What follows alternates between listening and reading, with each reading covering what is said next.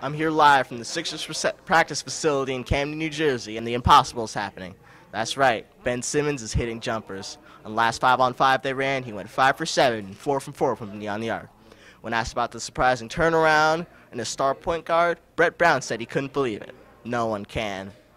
Uh, from the Sixers practice facility in Camden, I'm Nathan Jewett, Sports Broadcasting Camp.